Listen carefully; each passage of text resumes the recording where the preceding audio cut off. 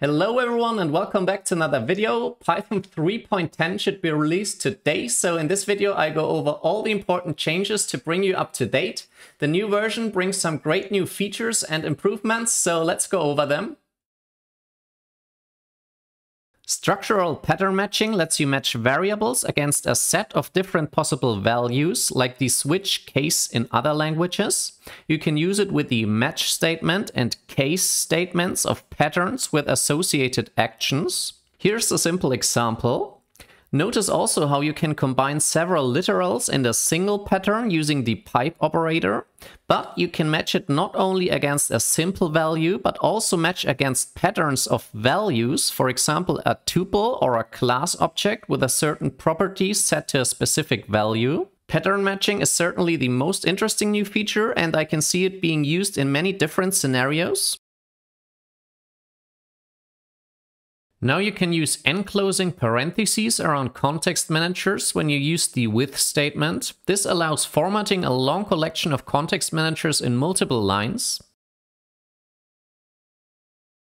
An optional strict boolean keyword was added to the zip method to ensure all iterables have the same length. Zip creates one single iterator that aggregates elements from multiple iterables. The default behavior is simply to stop when the end of the shorter iterable is reached. Like in this example, it just combined the first two elements and discarded the third name. With the new parameter strict equals true, this will now raise a value error if the iterables do not have the same length.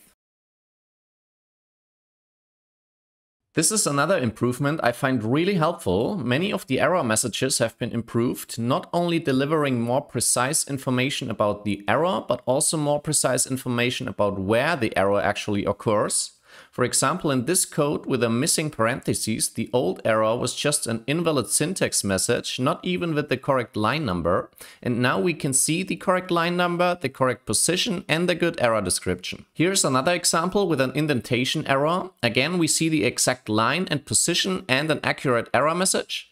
I like these improvements a lot and I think this could be especially helpful for beginners that previously oftentimes only got confused by the error message.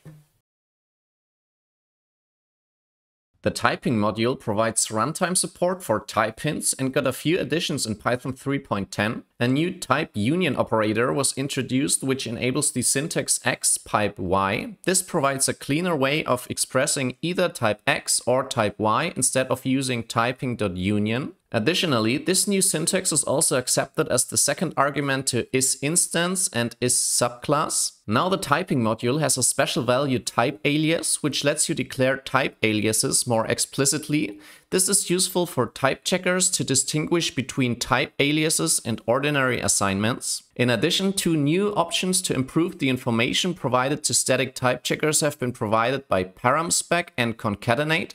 I will link an article below where you find more details about these types. Python now requires OpenSSL 1.1.1 or newer. Older versions are no longer supported. This affects the hashlib, HMAC and SSL module and modernizes one of CPython's key dependencies.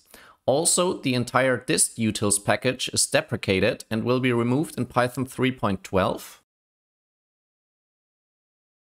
No new modules are added, but a lot of modules have been improved. Here's a brief overview of most of the improved ones, and again you can find a full list in the article I put below the video.